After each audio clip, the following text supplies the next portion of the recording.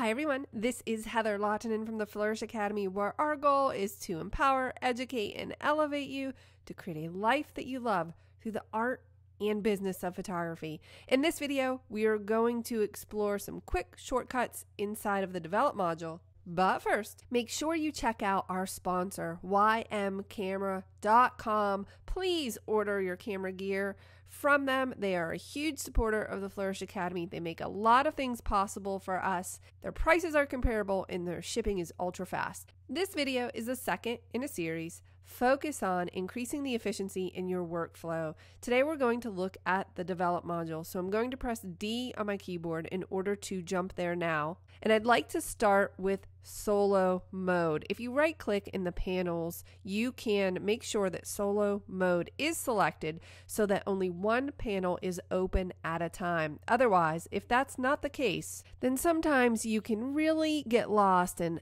all of these panels in the right hand side. I just find it's much easier to work in solo mode. That just means one panel is open at a time. Again, just right click, make sure it's selected, and whatever panel you're on will expand. And if you choose another panel, that one will automatically collapse. It's very handy. Now, the next tip is pretty obvious. I know that many of us use it already. It's the backslash key in order to show the overall before and after I use this constantly to make sure that I'm headed in a good direction with my photos. But did you know that you could also turn on and off individual panels by clicking the switch on the upper left of each panel? Every panel has a switch in the upper left that you can click to turn that adjustment on or off individually so you can see what you've done with just that panel. And that can be really handy when you've made several changes to your images in several different panels. Now, let's say you are playing with a particular slider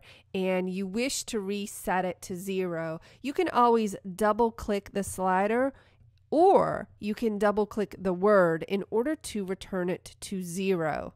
And I use that feature all the time. But did you also know that in a group like the one we see here in the HSL sliders, if you double click the word saturation, it will take all of those settings back to zero, which is very convenient when making several adjustments. Let's press R on the keyboard in order to access the crop tool. Now, if you press O, while you're in the crop tool, you can cycle through the different overlays that Lightroom offers. And this feature is also very useful. But did you know that when you're in the golden spiral, for instance, if you hold down Shift and press O, you can actually rotate it to different positions in your photograph?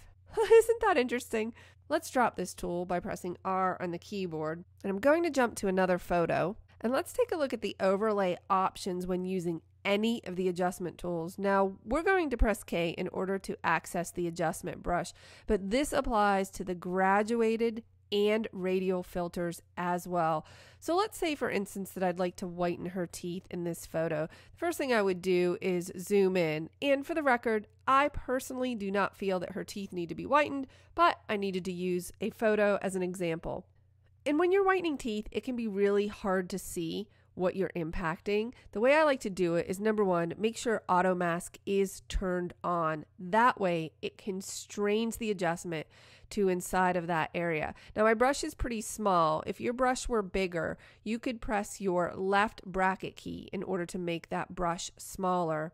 I don't need much of a feather with this brush. The feather of your brush is controlled by holding down shift pressing the right bracket key to give it a softer edge or shift in the left bracket key to give it a harder edge. And you should note that the concentric circles change at the same time. What I like to do is press O on my keyboard when I am making this adjustment so that I can see my selected mask overlay. And when you do that and you brush over an area, you can see this rubylith color that we've always had since Photoshop.